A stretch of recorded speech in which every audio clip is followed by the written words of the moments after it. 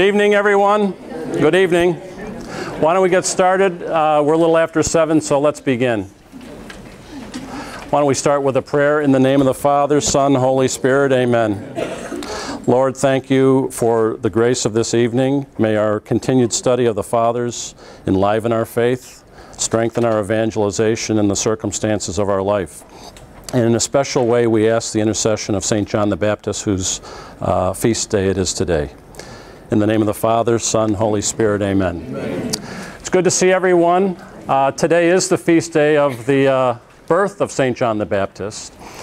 And he is an interesting saint in the church here because he's the only person other than Mary and Jesus who in the liturgical year has two feast days, his birth and his death. He's the only saint other than our blessed Lord and uh, Mary who has two or more feast days. So he's a herald of Jesus' coming, and uh, let's hope he uh, can guide our efforts through the, the evening and for the rest of the program.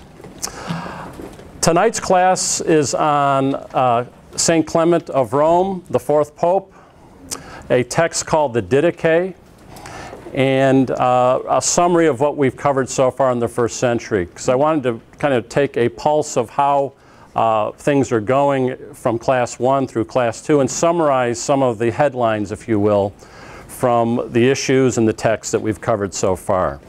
So that's what's on tonight's program. And uh, so with that, uh, were there any comments or questions from last time that might have been held over for those of you that were here uh, that you didn't get a chance to ask uh, before we jump into tonight?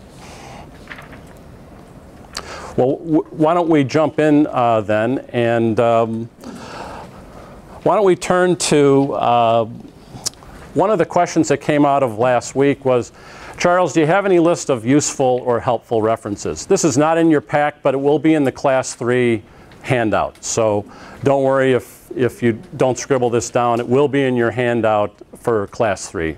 But these are references that I have found useful and helpful uh, there could be pages and pages of these, but I wanted to focus on a few that I think you might find interesting. The first one is a website, and it's newadvent.org with slash fathers. And if you go to that website, uh, you have all of the text of all the fathers and early uh, saints of the church uh, online. Now, in the past, uh, this came out in about a 38 volume set and it cost maybe $1,000. And so if you went into libraries, you'd see, wow, there it is, Encyclopedia Britannica of the fathers and the early church. This is all available online for free, obviously. And you can click on any particular father and click on any particular work of that father uh, and see the text and even download it into a PDF file format.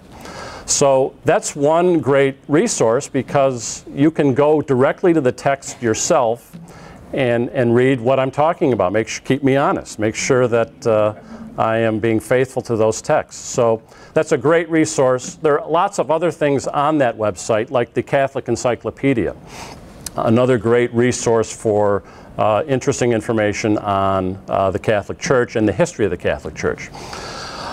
The, other, the next text there is what's called Early Christian Doctrines. This is the text that was used in the seminary when I was going through, and it's, I was in the seminary bookstore not too long ago and it was still there. So it's been revised and updated, uh, but it's another useful, helpful uh, text. It's very detailed, it's over 500 pages. So if you're if you really want to dig in, uh, that's the text that you might find very interesting and useful. It's on early Christian doctrines, so it's really more thematic, but it talks about the fathers in the context of those themes. The next one is if you had to read one thing, uh, this would be the text. It's, it's by Henry Chadwick, The Early Church. It's part of the Penguin Classic series on church history, and I found it very good. Uh, and uh, what's interesting to me is that these last two are written by non-Catholics. Uh, and so it, it, it, touches back on a theme that I, I, touched on earlier in class one of that the fathers of the church, or patristics, sometimes you'll hear it referred to that, is really a neglected area. That's changing in the Catholic Church, but it's been a neglected area. uh, and we'll say more about that. Uh, so when I, I, think things began to change in the seminary systems, probably in the mid 90s, the fathers of the church started getting more of a focus. But prior to that, it was really more taught in the context of church history, not so much the theology of the fathers. Uh, the next one is uh, the teaching of the church fathers put out by Ignatius Press, a very handy uh, book that compiles lots of different quotations from the fathers. Uh, and it's thematic and by fathers, so you can, it's a cross reference of both, and it's very useful. It's a nice compilation of, of lots of quotes. Uh, reading the early church fathers is another book put out by a Northwestern professor, uh, and it's also very interesting, more from an Eastern perspective, an Eastern Orthodox perspective, so uh, a very interesting uh, book as well. And then the last one is probably the source that is most cited by theologians and historians, which is the Ecclesiastical History of the Church by Eusebius, who was a fourth century bishop. This has survived largely intact, and uh, it's probably the source uh, of information on the early church that scholars refer to constantly over and over again. And he's the source of much of the background and knowledge that we have of the early church. So he was a fourth century bishop and uh, was close to the events he was narrating. So this will be in your class three notes so that you can refer to it, but uh, I wanted to just cover that base because several people asked about it. Yes? Uh, last week, who appointed the, these people as fathers of the church? And you said right. there were capital F fathers and small right. F fathers. Sure. It, it, was really custom. So over time, if someone is continually cited as a revered source uh, of the standard of the rule of faith, by churches throughout the world. They tended to rise to the level of being a father, capital F. Then you had regional uh, esteemed people who also lived holy lives, but they, their influence was more regional. And so they wouldn't be considered a father of the church, capital F, but they were more local in their focus. And then some fathers, not all of them were, were necessarily orthodox per se. So when we talk about Tertullian, in future classes or even Origen. Uh, these are people who have uh, pluses and minuses to their thoughts which weren't necessarily incorporated into the faith of the church. So some fathers have kind of an ambiguous status as well. Well, why don't we keep rolling? So let's look at our first text now, which is the first letter of Clement. And as I mentioned to you uh, last class, and for those who are arriving now this class, Clement uh, was thought to be the son of a magistrate who was later uh, uh persecuted by uh, the emperor and executed. As such, as a slave, he was a freedman and took his master's name, Clement. Uh, and he is the fourth Bishop of Rome, the fourth Pope in the genealogy of the popes, if you were to trace it all the way back. Not much is known about Clement. Uh, what's interesting is that he wrote two letters that we have. A first Clement, first letter to the Corinthians, and then a second letter. We're going to just look at the first letter tonight. But uh, what's interesting is that one of the reasons why the fathers of the church have been historically neglected in terms of the academic study of them is these letters, though they're cited by early authors, this letter was discovered in the 17th century. Now it's referred to by other people in the history of the church in the second, third, fourth, fifth centuries, but we didn't have a copy of it until it was discovered uh, in, a, in an archive in the 17th century. So imagine this of having about 1600 years of really not being aware of this text and this document from the first century. So uh, that's one thing to keep in mind uh, about Clement and about the fathers on there's a lot of gold in the hills that really hasn't been discussed that often or that much. Certainly not in ecumenical dialogues enough. Uh, so that's one thing to keep in mind. So why did he write the letter to the Corinthians? And the letter is thought to have been written maybe around uh, 90 AD or so. Uh, it's hard to date them exactly.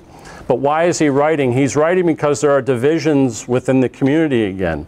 You might recall that Paul's letters to the Corinthians, there were divisions as well. There was strife, there was jealousies, there was arm wrestling going on, there were cell phones going off in the community. and uh, that's all right. Uh, maybe you'll get a letter from the pastor, we don't know. But uh, in any event, one of the main issues that prompted Clement to write the letter is that the younger crowd in the church had actually deposed the leaders, the, the bishops in, in Corinth, in, in the city of Corinth. And so he's writing to remedy that situation. So that's prompting the letter. The, the other aspect here is he starts out the text, which I'll read briefly, saying, I'm sorry I've been delayed in writing you. I, we've had some problems here in Rome, and uh, I'm now just getting to this. And some of the problems, if you think about it, uh, were the persecutions that were going on at the time. And if, if, you consider that really the first 29 or 30 popes were martyred, uh, it was a, a job that uh, if you took it, you were, you were kind of walking a path. So Clement did not have the occasion to write. And what I want to do is just briefly uh, read to you the beginning of, of the letter, uh, which is the first chapter. It's not in your handout because I, I could multiply quotations to you and then we'd have like 80 pages, but I'll just read briefly. This is from the first chapter. Because of the sudden and repeated misfortunes and reverses that have happened to us, brothers and sisters, we acknowledge that we have been somewhat slow in giving attention to the matters in dispute among you, dear friends, especially the detestable and unholy schism, so alien and strange to those chosen by God, which a few reckless and arrogant persons have kindled in you to such a pitch of insanity that your good name, once so renowned and loved by all, has been greatly reviled. That's his introduction. So, um, Corinth, because it was founded by Paul, had prestige and status, and it was a jewel of the early Christian communities. And it had begun to fall apart, and so Clement is trying to remedy that situation. Uh, the other themes in this, and we'll read some of them uh, as well, is there's a straight line in Clement's thinking, which he expresses in the letter, from Jesus to the apostles to the current bishops and leaders of the Christian communities. And this is unequivocal in the letter. And uh, we'll read one of the texts uh, that relate to that specific issue. Why, why does he emphasize that? He's, he's very concerned about unity. The unity of the church is at risk. And if the unity is uh, compromised, then you don't have a functioning church. He talks about the spiritual life as well in, in the texts of the letter. And again, he, he narrates the whole history of, of uh, the Jewish faith as well as its practice in the early church and the apostles, and how not only unity in faith is important, but living a Christian life is important to be an emblem to others in the community and others observing it. The Romans and the people that persecuted Christians were always looking for bad actors to use as a hammer on believing Christians. And we have that syndrome today in the, in the media. Whether it's the, the scandals in the church uh, or other embarrassments of the church, uh, the media is very quick to use that to counter the evangelization efforts of the church. They're really not particularly interested in, in the the truth of their reporting, uh, if the incidence of, of abuse by Catholic priests was a fraction of what it is today in public schools by teachers, that fact would go unreported. So uh, the enemies of the church in the first century as well as today are always looking for uh, an opportunity, and, and a bad example of Christians is an excellent way to do that. Stifles conversions. Jesus came in the flesh, uh, and this is something uh, that I touched on uh, significantly in the first class, where Jesus came in the flesh and continues in the church. What you see here is a subtle shift now in, in theology. So if in the early, what I call Palestinian Christianity, Jesus' return was imminent. Now that is giving way to something else, which is that the church is the continuation of Jesus Christ. It's his corporate body on earth. The two are not opposed to each other, but there's a subtle shift because it's now been 40, 50, 60 years since the resurrection, the ascension, Pentecost. Uh, many of the apostles have been martyred by this point, uh, and new leaders are coming into those roles.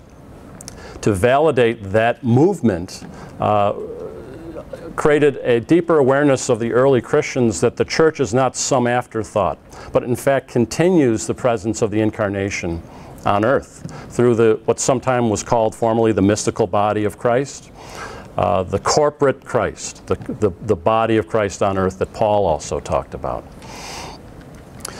Jesus is the source of our salvation, and all creation. This is to counter some of the competing religions and philosophies of the day that early Christians were, were managing through and shouldering through. And then lastly, he ends the letter by saying, Restore the bishops you've deposed. Uh, so this, I didn't spend uh, some 50 chapters here just to amuse myself. Uh, you need to restore the bishops you have deposed. Now, before we jump into the text on the next page, if we just stopped here, we could make some observations. One observation is that a leader, a bishop in Rome, wrote to another church correcting an abuse,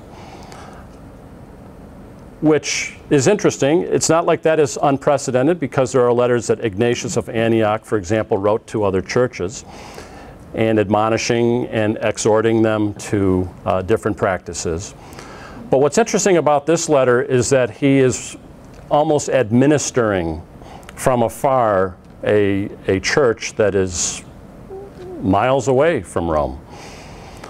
So uh, certainly we don't have a fully developed theology of the papacy or the pope, and we have nothing near the distinctions made in Vatican I, for example, in 1870, or the more fine-grained and beautiful uh, document of Vatican II on the church, uh, talking about the governance of the Catholic Church, of the Bishop of Rome and the popes in, and the bishops in union with him. But we do have an appreciation that the leader in Rome is within his rights and prerogatives to correct a regional church outside of his domain, so to speak. We, we have a, a flower, if you will, shooting up through the persecutions, through the incredible distractions that would be when your three prior successors were martyred and you take the helm and you're a former slave. Uh, still, within that awareness that, that the early church had, that the Bishop of Rome, the leader in Rome, was well within his domain to correct remote abuses. So I'm not saying more than that. I'm not saying we have the fine precision of papal infallibility. We're nowhere near that in this text. But I am saying that there is this initial stream that is occurring and it gathers momentum as we march through, through time. Let me continue uh, as we go to the next page. Let's read uh, a text or two here. What most uh, theologians and scholars of the early church uh, do recognize, they might not necessarily agree with my last statement about the prerogatives of the, of the Bishop of Rome, particularly if they're of a different faith. But what is not debated is the awareness of the apostolic succession and apostolic tradition, which we touched on last class. And if you recall, I, I compared it to this extension cord, which travels throughout time and, and connects to a source, namely Jesus Christ, to transmit power to the church, the power of the Holy Spirit. And apostolic succession functions that way throughout time. And so, with this first text, and again, this is written in the, within the first century, uh, let's, let me read to you the first part of it. So, this is from the 42nd chapter of the first letter of Clement, uh, verses 1 through 4. The apostles received the gospel for us from the Lord Jesus Christ. Jesus Christ was sent forth from God. So then Christ is from God, and the apostles are from Christ. There's that straight line that he's drawing. Continuing now, both therefore came of the will of God in the appointed order. God, Jesus Christ, the apostles. Having therefore received a charge and having been fully assured through the resurrection of our Lord Jesus Christ and confirmed in the Word of God with full assurance of the Holy Spirit, they went forth with the glad tidings that the kingdom of God should come. So, preaching everywhere in country and town, they appointed their first fruits. When they, the apostles, had proved them by the Spirit to be bishops and deacons unto them that should believe. So, there you have a connection from God, Jesus Christ, the apostles, and then the first fruits of the apostles, which are the leaders they appointed as they were dying off. So you have this spinal cord being established around, say, 90 AD or 95 AD, uh, related to the apostolic succession. Continuing um, in the 44th chapter, the next quotation there. And our apostles knew through our Lord Jesus Christ that there would be strife over the name of the bishop's office. For this cause, therefore, having received complete foreknowledge, the apostles, they appointed the aforesaid persons, and afterwards they provided a continuance that if these should fall asleep, namely die, other approved men should, should succeed to their administration. Those, therefore, who were appointed by them, or afterward by other men of repute with the consent of the whole church, and have ministered without blame to the flock of Christ in lowliness of mind, peacefully, and with all modesty, and for a long time have borne a good report with all these men we consider to be unjustly thrust out from their administrations. He's referring there to those leaders in Corinth who have been pushed out. And he's saying you don't have the right to push them out because of this apostolic succession by which they were appointed. And that there's nothing in their character or, or in their lives that justified them being pushed out. So if I pause here, uh, oftentimes you'll encounter this perhaps with friends or coworkers or you'll see something on television that the, the apostolic tradition or even the Bishop of Rome, these were all things created much later, either by Constantine or in medieval times because it was all about power and controlling people's lives. That's kind of the common refrain you hear from, from folks who are uncomfortable with a kind of a monarchical structure we have in the Catholic Church where there's a hierarchy uh, that cascades down and, and many folks who are not Catholic or many who are Catholic and, and tend to publish in the Chicago Tribune uh, will, will pretend that these texts don't exist or that this understanding wasn't there from the beginning and growing through time. But it was there. We've just read it. And so uh, the common critique is, well, this is just about papal power and controlling people's lives. And from Clement, we hear that no, this actually comes from the hands of the apostles and according to the attention of Jesus Christ. He's a pretty good writer. I'm sorry? He's a pretty good writer. Yes, yes, Very, very uh, modern in his yes. choice of words and uh, Keep in mind he wrote in Greek, so we have to thank the translator who put this into English. but you, but I, your point is a good one. It, also points something else out, that often the slaves in Roman households were educated as well as the children of the leader of those households. Uh, and so when you providence-wise, uh, Clement was probably more educated than Peter. But let me read one more text uh, to you from the, the letters of Clement, which I don't want to uh, neglect. This is in the 59th chapter. It's not in your handout. I apologize for that. Uh, but you can now go online and read these for yourself. Uh, so this is toward the end, and he has spent 58 chapters exhorting the people of Corinth to lead lives worthy of the gospel. And he has cataloged all the ways that other communities are doing that by helping uh, the poor, by helping widows, by helping the orphans.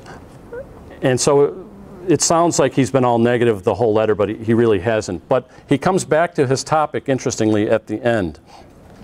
And this reinforces his own sense of his own authority.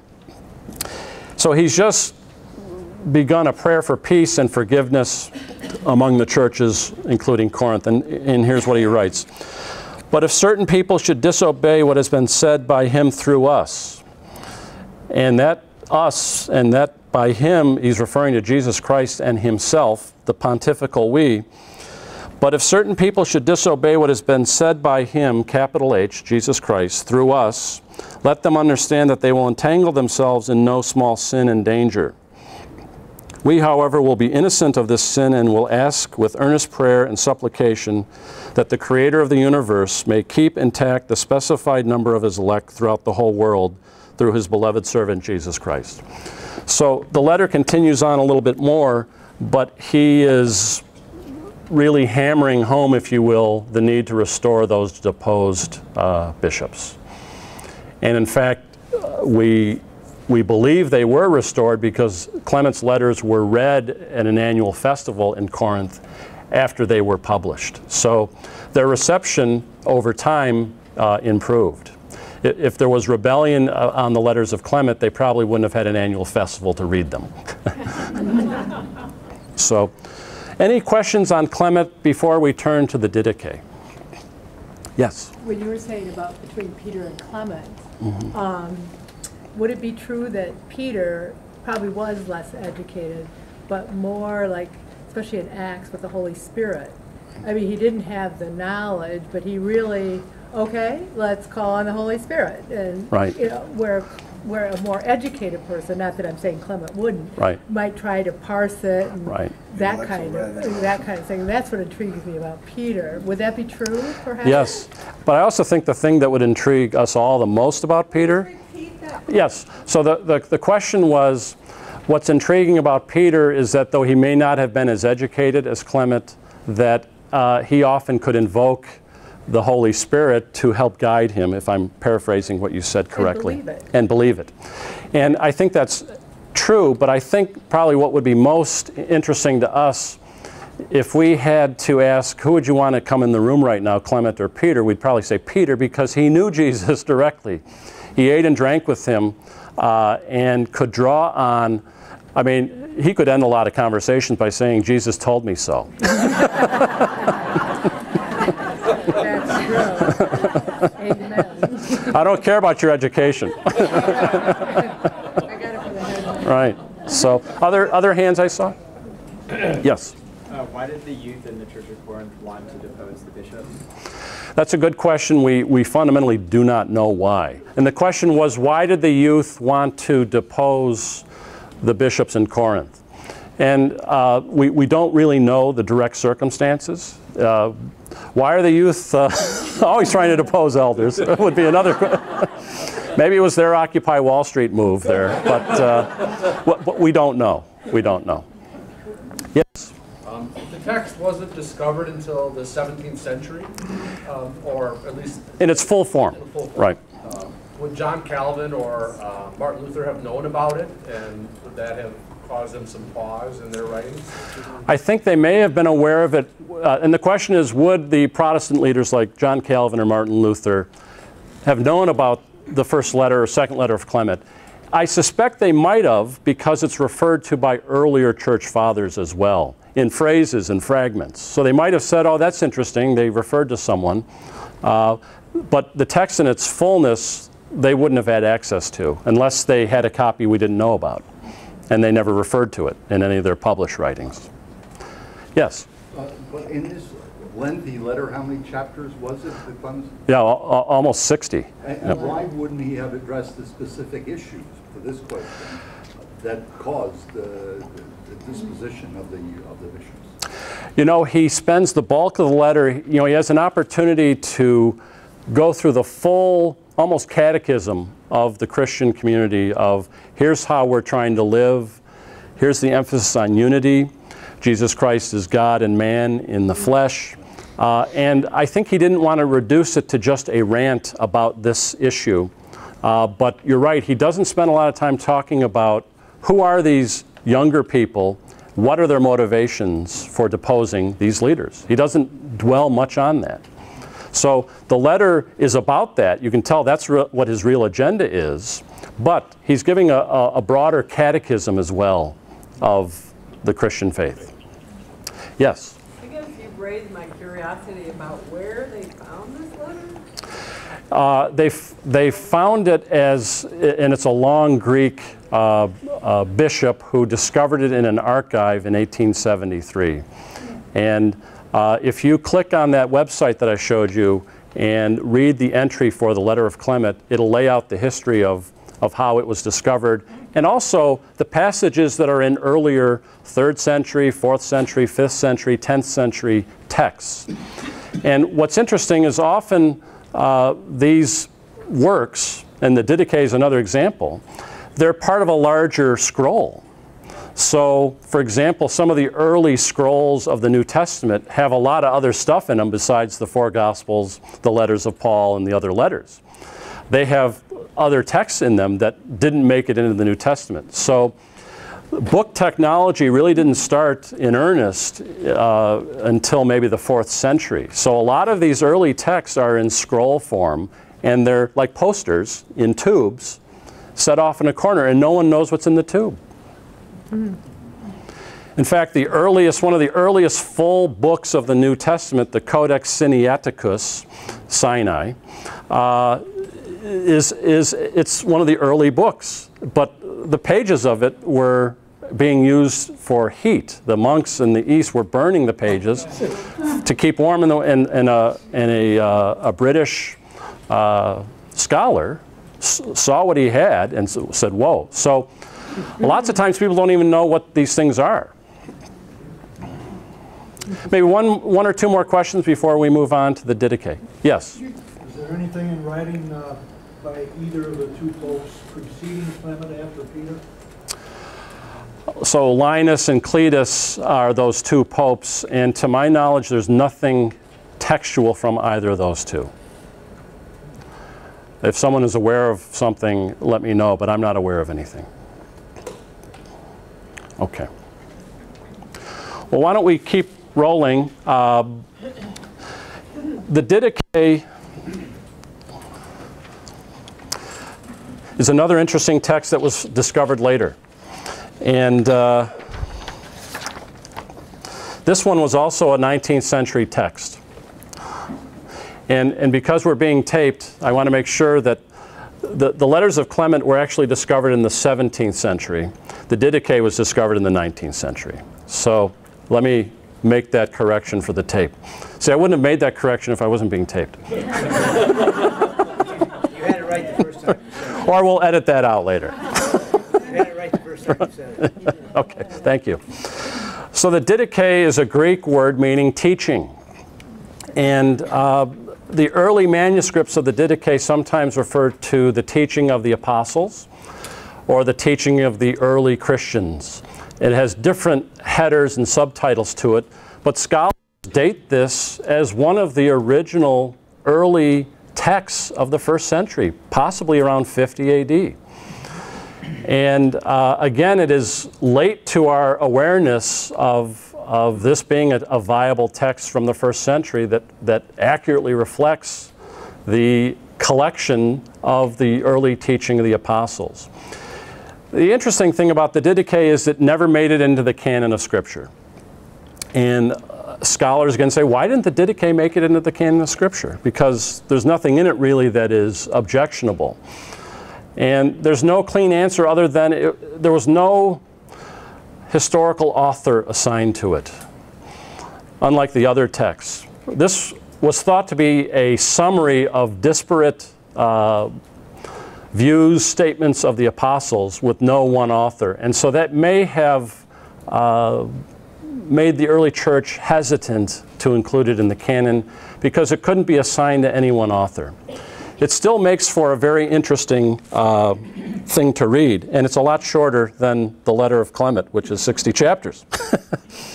but the, the Didache, uh, or teaching, uh, is really interesting because it also lays out the early practices of the church.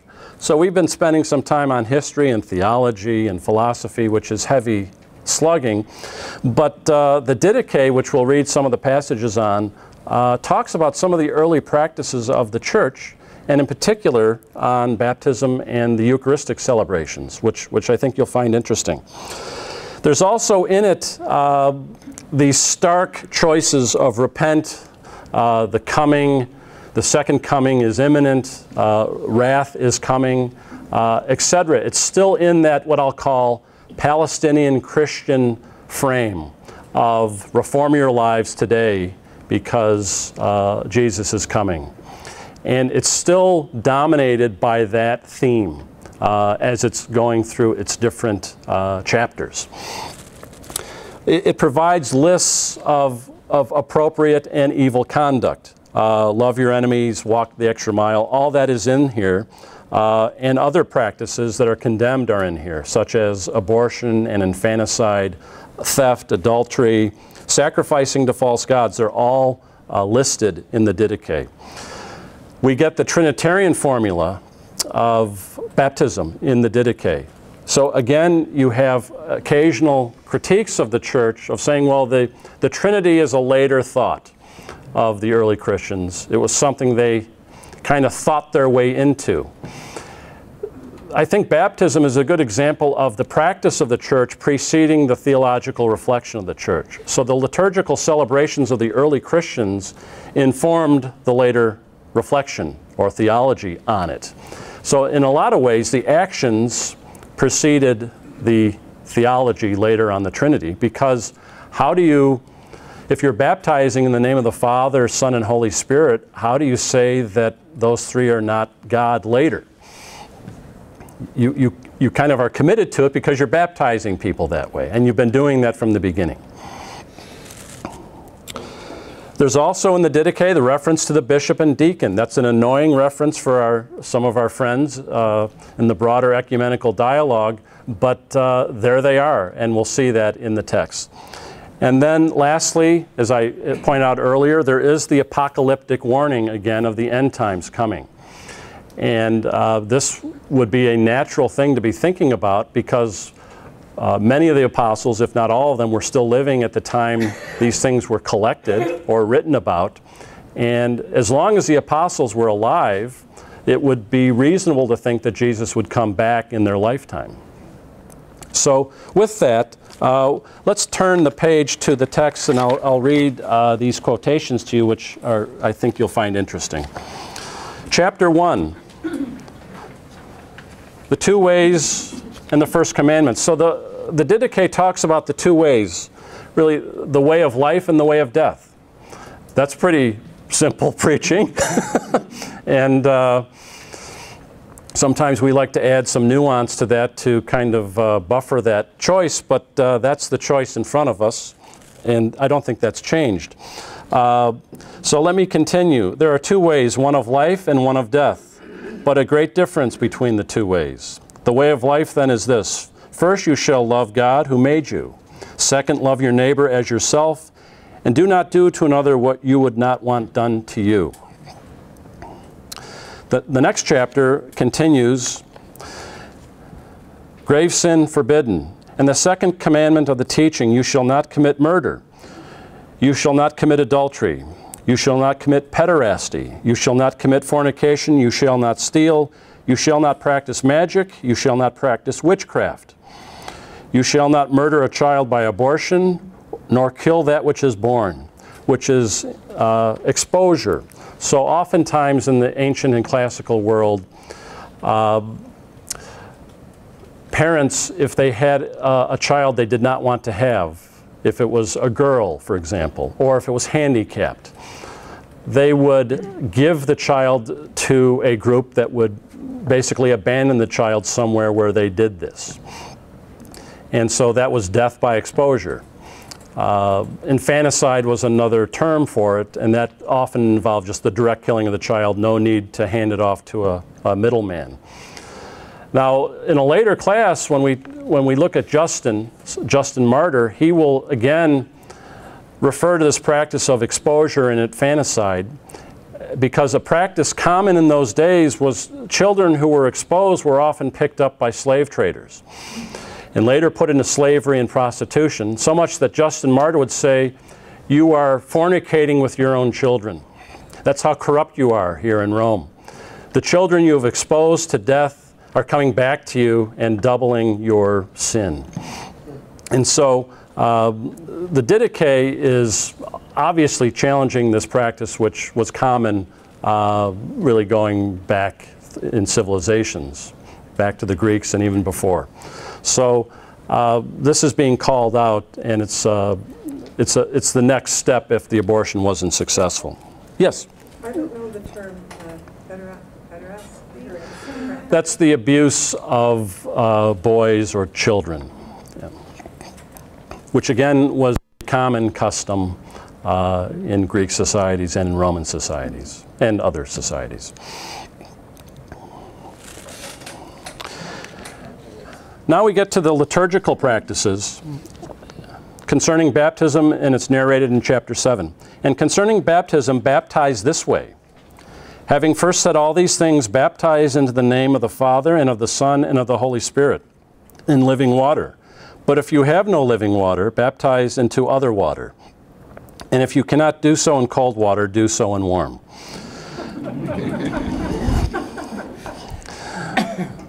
But if you have neither, pour out water three times upon the head into the name of the Father, and the Son, and the Holy Spirit. But before the baptism, let the baptizer fast, and the baptized, and whoever else can. But you shall order the baptized to fast one or two days before. And it goes on. But you see there the early baptismal formula, which is Trinitarian. Then in chapter 9 on the Eucharist. Now concerning the Eucharist, give thanks this way. First concerning the cup. It's interesting he starts with the cup. First concerning the cup, we thank thee, our Father, for the holy vine of David thy servant, which you have made known to us through, through Jesus thy servant. To thee be the glory forever. And concerning the broken bread, we thank thee, our Father, for the life and knowledge which you have made known to us through Jesus thy servant. To thee be the glory forever. Even as this broken bread was scattered over the hills and was scattered together and became one, he's referring to the manna in the Old Testament. So let thy church be gathered together from the ends of thy earth into thy kingdom. For thine is the glory and the power through Jesus Christ forever. But let no one eat or drink of your Eucharist unless they have been baptized into the name of the Lord. For concerning this also the Lord has said, Give not that which is holy to the dogs, which is from one of the Gospels, where Jesus says to the woman, you know, we don't give food to the dogs. And uh, so here you have interesting uh, call out on the Eucharist that only the baptized should receive the Eucharist as well. So again, these early Eucharistic celebrations, which took place probably in people's homes or in protected areas, uh, start from the beginning. Continuing then, a few more quotations, and these are the quotations on uh, the bishop, the role of bishop and deacon, which was a helper or servant of the bishop, and then the end time theme. So, bishops and deacons, Christian reproof. Appoint therefore for yourselves bishops and deacons worthy of the Lord, men meek and not lovers of money, and truthful and proved for they also rendered to you the service of prophets and teachers. Therefore do not despise them, for they are your honored ones together with the prophets and teachers.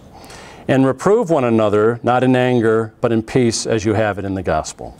But to anyone that acts amiss against another, let no one speak, nor let him hear anything from you until he repents. But your prayers and alms and all your deeds so do, as you have it in the gospel of our Lord. So again, what's interesting is that the role of the bishop and deacon is being called out. And there's a little subtext here about prophets and teachers. So, what you had as well in the early church are people who were Christians, active Christians, inspired people, who were also, in some way, I'll, I'll, put this this way, they were competing on some level with the bishops and the deacons as it relates to administering to the community. And we see some of this even in the Acts of the Apostles, where you might remember um, uh, Simon, who wanted to work with the apostles, and it's where our term simony comes from, when he tried to buy his way into uh, getting some of the apostolic uh, authority. Uh, so there were there were people out there, and you can imagine this if, if a community was started and it's being led by a bishop and deacons. You have, you have other folks on the margins also uh, attempting to influence and provide leadership to that community. And so what you have in the Didache is, and it may not strike us as obvious, uh, but it would have been obvious at the time, that the Didache is specifically pointing out that the bishop and the deacons are the ones who are appointed for the benefit of the community. And so there's a subtlety going on here uh, that uh, we may not catch, but that's, that's the catch. And so again, the role of the bishop in particular is there from the beginning. It's not an afterthought.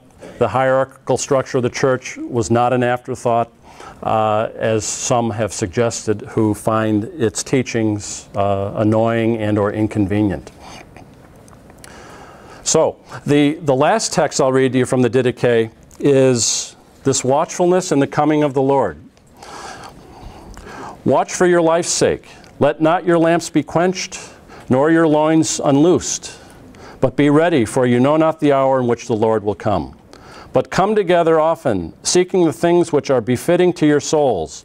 For the whole time of your faith will not profit you, if you are not made perfect in the last time. If I was just to pause there, that's really what the Catechism always talked about of, of uh, the grace of a, of a peaceful death or persevering in grace. You have a reference, an early reference to it here in the Didache of you've been great persevering to it until the end. And uh, that is a, a great grace to always be mindful of. But continuing, uh, for in the last days false prophets and corrupters shall be multiplied, and the sheep shall be turned into wolves, and love shall be turned into hate. For when lawlessness increases, they shall hate and persecute and betray one another, and then shall appear the world deceiver as Son of God, and shall do signs and wonders. And the earth shall be delivered into his hands, and he shall do iniquitous things which have never yet come to pass since the beginning. Then shall the creation of men come into the fire of trial, and many shall be made to stumble and shall perish. But those who endure in their faith shall be saved from under the curse itself. And then shall appear the signs of the truth. First, the sign of an outspreading in heaven, then the sign of the sound of the trumpet, and third, the resurrection of the dead. Yet not of all, but as it is said, the Lord shall come and all his saints with him. Then shall the world see the Lord coming upon the clouds of heaven. It's interesting, we get an additional reference here. Not only be watchful and waitful, but before those end times happen, a deceiver will come. And, and this is interesting, and, and this could be, uh, again, it's unclear, but it, it might have made some of the early church later, when it was putting the canon together, uncomfortable a little bit about the whole world deceiver coming part. Uh, that's speculation on my part. But um, it's interesting that this is there in this text. And um, there are obviously lots of people speculate on what they were referring to and what events they were referring to, how it might connect to the book of Revelation, for example. Uh, and so you have these resonances going on in the early church and these early texts about uh, the end times that are imminent. And uh, these tensions, as I mentioned in the first class, are always at work in the church. You have the, what I'll call the sober apocalyptic warnings, which we should all take to heart. Uh, our demise could be this evening. Are we ready? Um, should we not live our lives? I remember seeing a, a uh, sign saying, let your last refuge be your first. And, and the point of that sign, and I think the point of this, is that don't live like you're cramming for the final exam. Um, because A, you don't know when the exam is coming, and B, that's no way to live in the first place. Rather, live your life out of this almost apocalyptic awareness. It's not important that Jesus comes in your lifetime or not. What's important is that you are living as if he is. And not so much out of fear, uh, although that can be a health, healthy motivator for some, uh, but out of what the gospel is calling us to, living this love of God, love of neighbor, that the, the Didache calls us to earlier. Uh, so, but we should never lose sight of this apocalyptic warning. We have it from the lips of Jesus, we have it from uh, many of the early saints. And frankly, the way this I see this playing out today is in many of the Marian apparitions. So if you think of Our Lady of Lourdes or Our Lady of Fatima in particular, um, there's an apocalyptic sense to those uh, messages. And this dimension in the church is a correction to all the other concerns we may have that are secondary. Because what's primary is our salvation, both as individuals and as a community. And so that can never be lost sight of. And so this end times theme, we should never lose that because we wouldn't be faithful to what was being handed on. And it will function as a corrective to all of the theology that goes on uh, in the church. You might remember from class one, I also talked about how Paul, uh, as he pivoted and transitioned from this Palestinian Christianity to a Greek Christianity, never lost sight of the life, death, and resurrection of Jesus Christ as the action of God, which is folly to the Greeks and a stumbling block to the Jews. So the paschal mystery, which is the death and resurrection of Jesus Christ, is always the central point of focus for Paul. And it's that beautiful blend that he achieves in his letters, in his theology, that harmonizes this apocalyptic sense and the, the wisdom of God, uh, joining that in Greek philosophy with, with uh, Jesus Christ. So in the Didache, you have the emphasis on the apocalyptic warning, which was at work which you would expect from the apostles, who are all men of the Middle East and not necessarily Greeks. So, any questions on the Didache? Yes, Emery. I just, very quick. Uh, there is anywhere how to, in a case of committing some crime or sin, how you get to a state of grace. So Emery's question Yeah, is it was confession. Right. Right. And so Emery's question is Was there ever a way or path by which, once you were in the community and you committed terrible sins, that you could somehow be reinstated in grace for the end times? And, and it's a good question. And uh, part of the answer is in the text of the Didache, where it does contemplate and envision people hey, if you don't persevere to the end times, there's a problem. So come back. The role of baptism also in the early church functioned to remit the sins of the past life. And that was uh, probably the most common way. Baptize again, maybe? No, no, you wouldn't baptize again, uh, but what people would do at times is be in the catechumenate state for a lengthy period of time, sometimes for years. And part of that was the practice of the early Christian community. Part of it was, uh, I hate to say this, but hedging.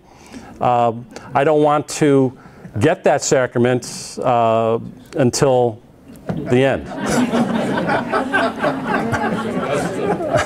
That's what some people Right. are doing these days. Right. But, but the practice of confession as such, the sacrament we know of it today, was, was in its embryonic form. Uh, and we, we don't have a lot of texts on it, but, but we do know that Jesus conferred that power, that sacramental power, on the apostles uh, from the texts of the New Testament. A question way in the back. What is meant by living water, and how does that differ from any other kind of water? It might have been water that was previously blessed before the ceremony. Right. Yes, question here. Uh, Just as the letter of Clement, eh, although it was not found till later, had been re- made reference to in other writings, was the Didache referred to Yes. somewhere along the line? Yes. So that we have a sense of the validity of it? Yes. Again, in fragments and different passages, but no full text until this was the 1873 discovery. Okay, But there And- were references to But there were references to it. People knew it existed, and this is not unusual. There are many works of the fathers that we know exist, but we don't have copies of them. And uh, for example, many of the sermons of Augustine, we have a fraction of them, uh, but he, he had a transcriber who captured most of his sermons when he was Bishop of Hippo. Or the commentaries of Origen on the Old and New Testament. Uh, he wrote a ton, and we have a fraction of what Origen wrote as well. So it's not unusual for this occurrence to, to be happening, uh, and we're just lucky that we found the full text. Yes, in the back. Let me, let me try to summarize your question. Uh, given the reality of human frailty over time, how can we manage things or expect the church or God to arrange things for us so that we die in the state of grace or uh, something along those lines? Um, keep in mind that Didache as a text doesn't spend any time on, on this topic so much other than what I've read to you. What I was talking about is the practice of the early church in terms of they had lengthy catechumenates, uh, years sometimes. Other people uh, were baptized immediately. The, the, the main idea not to lose sight of is that when you were baptized, you were a new creation and you were expected to live that way. Now, uh, did people stumble and fall? Of course they did. Uh, but uh, we, we could maybe spend some time on this someday about the, the penances involved when people did sin after baptism were, we would find them by today's standards as pretty heavy and intense. Years, you know, walking around with uh, a 20 pound weight on your ankle or uh, fasting uh, brutal fasts uh, for months and months and months, maybe years. So we would, we would really uh, struggle with that. And, um, but baptism was really meant to be an, a crashing in of God into, into your life with consequences. And um, I, I think sometimes we lose sight of that, that baptism was a central act uh, for early Christians, a, a, a life-changing act. Now, it's obviously a life-changing act for all of us as well. Uh, whether we were baptized as infants or later converts, uh, the later convent, converts all remember their baptism, and it, and it was a special moment in their life. Uh, but uh, we tend to lose the sight of how transforming that was and how countercultural that was in the early church to be baptized, because you could lose your life over it. Question here. Yeah. Possibly yes. So the question is why the references to no Eucharist without baptism? And uh, this is part of the transforming nature of baptism in the early church. You were officially a member of a community, and the, the source and summit of that community was the Eucharistic celebration. And so the practice of catechumenates being dismissed early before the Eucharist, which we see today in churches, can be dated back to this practice as well, where you're not fully incorporated into the body of Christ until baptism. Uh, certainly as a catechumenate, uh, there were heroic catechumenates. Uh, St. Perpetua was a catechumenate who was martyred. So there were many catechumenates who also took it seriously, were not baptized, and were martyred for the faith. Uh, and what's interesting is that the church considered them saints as well. And the baptism by martyrdom theology comes out of that. Let me continue then. Uh, this next page is, is really a summary of, of what we've covered to date and, and we'll, we'll set up for class three and the classes that come after it.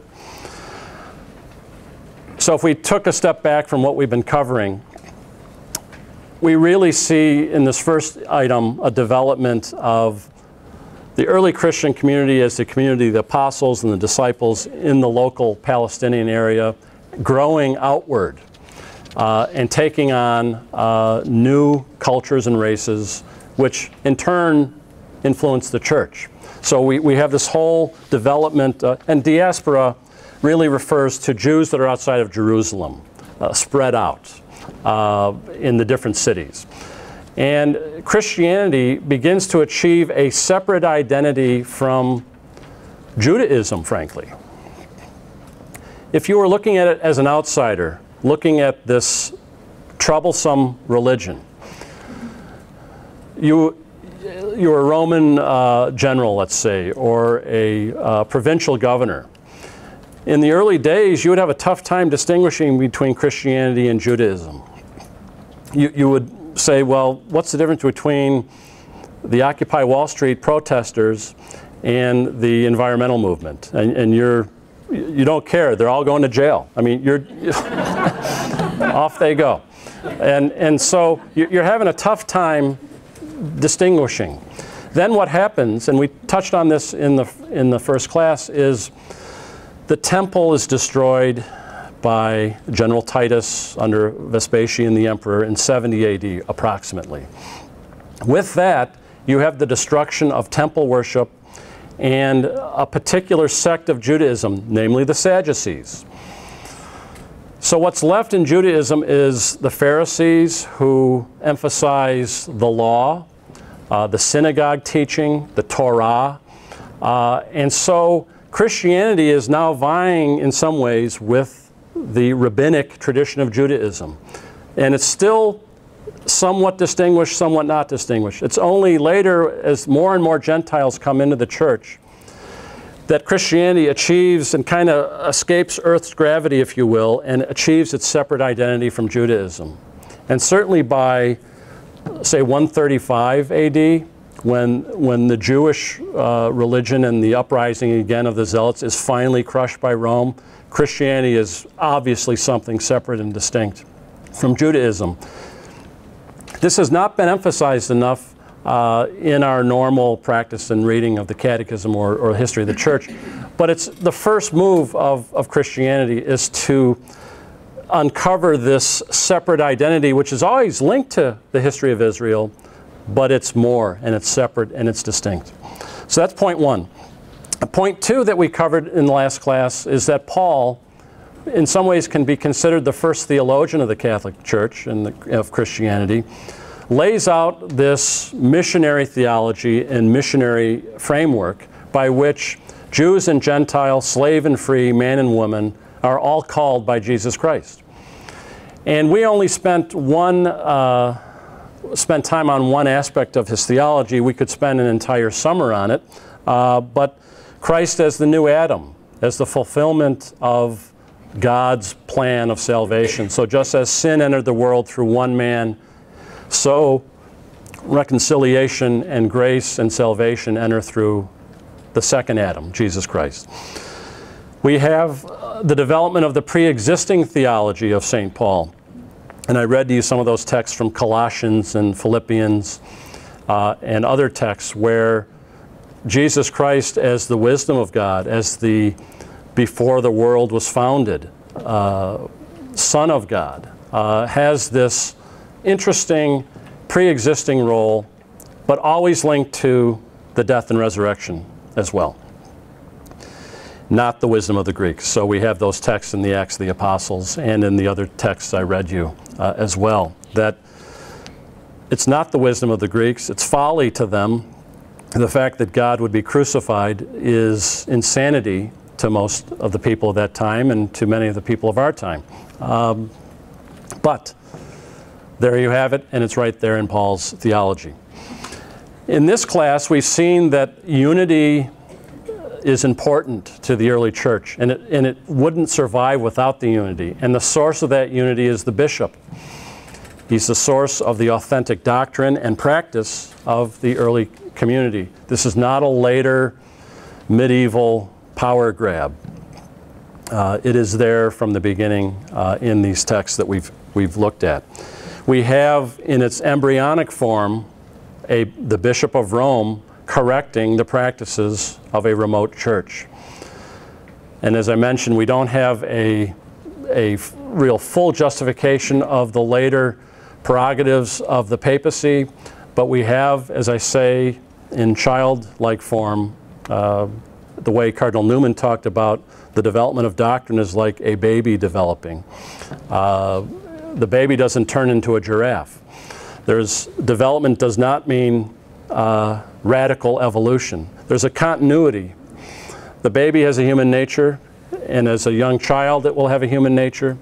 As an adult, it has a human nature. So too, the church had a nature from the beginning, and it grows and develops like a baby. That was a very powerful image for Cardinal John Cardinal Newman, who was a convert uh, from Anglicanism in the 19th century, uh, part of the Oxford movement. And uh, that image is quite powerful for us as well. And we see the, the babyhood form, if you will, of the Bishop of Rome in action.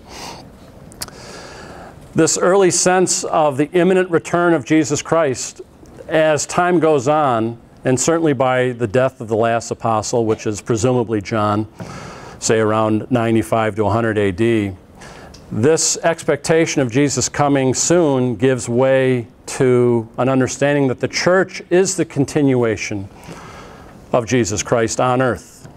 Our heavenly city never goes away, and that's our mission in life, but that the church, in a mysterious sense, is the continuation of Jesus Christ now and forever. And that the Christian community enacts that in baptism, in the Eucharist, in a holy life.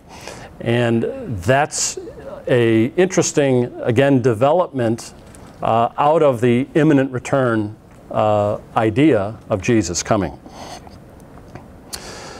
The scriptures begin to start getting written down uh, as a response to basically James and John and Peter are dying off. Uh, we better write this stuff down. Um, and over time, the scriptures will be that source that people will appeal to to justify an approach or a practice. Uh, but it is still in flux at this time, meaning there are many texts out there, some collected, some not. Uh, we have many versions of the Gospels, for example. There are probably 20 some Gospels written in these times and up through the second century. Gospels of Peter, Gospels of Barnabas, Gospels of Jude, Gospels of Thomas, Gospels of Mary. Uh, all of them are in circulation. Uh, some of them are heretical, uh, some of them are silly, uh, and we boiled it down to four Gospels Matthew, Mark, Luke, and John. But did you know we have different versions of Matthew, Mark, Luke, and John that don't agree with each other? So uh, we're in flux from a textual perspective here. And that would be as you would expect, frankly, because uh, there were not Barnes and Nobles and copying machines down the corner, uh, especially when you're running for your life half the time. so um, this emphasis on the Bible only is actually unbiblical. Uh, Bible only faiths are unbiblical. I'll say that again for the tape. Why do I say that? Because the obvious early practice of the Christian communities they didn't have a New Testament. And what texts they did have didn't agree with each other. And by the way, we don't have any of those texts now. We have no text of the New Testament from the hand of the author. We can go to the British Museum, we won't find it. We won't see anything from Luke. So what we have are copies, translations, and as I mentioned, the first full book of the New Testament is around the fourth century. So um, the early experience and practice of the early Christian communities are, are non-textual, if you will. They're driven by practices and the themes I've been talking about, and other themes. Yes. And you also see in the text, sometimes when we hear them at Mass on Sunday, we're kind of annoyed by the repetition.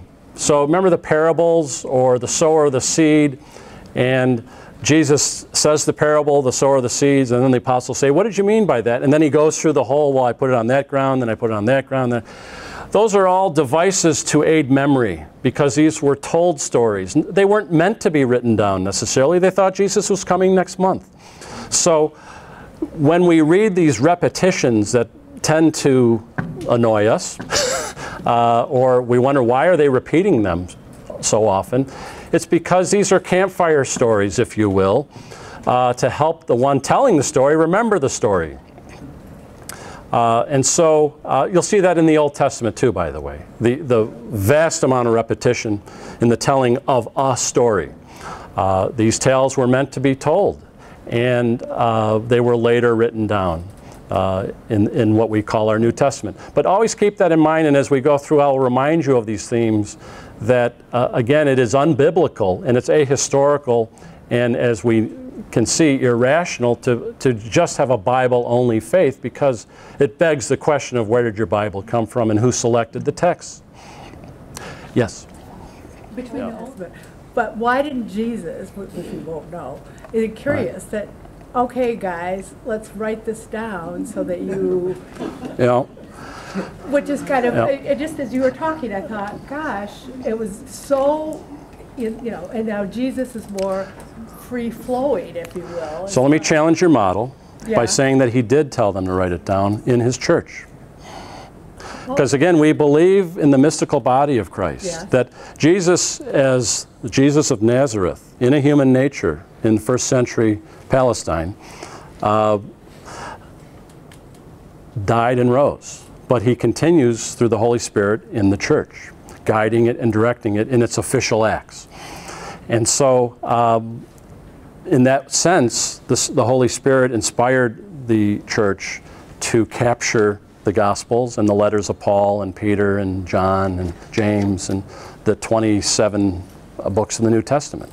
So, in my understanding, the individual Jesus uh, didn't say, but through the Holy Spirit, we are inspired by those texts and we believe them to be the Word of God. Well, that would be, I'm studying the history of the popes, and the only way the church could have survived through all the different, is through the Right. Holy Spirit. Thank you, that's Yes. a good point. Oh, good. Thank you. So we've got a few minutes left uh, before we wrap up. Any last questions? So normally we go to 8:30, so you get a bonus. It means extra brownies. Oh, there's one. Who was the zealot of the apostles? Simon. Simon the Zealot. So that was a question from last week. We were talking about the different branches of Judaism, and one of them was the Zealots, who were agitating to overthrow the yoke of Rome on the Jewish communities in Jerusalem and, and spread out. And Simon was a zealot. So that's the, the answer to that one. Thank you. Thanks for coming.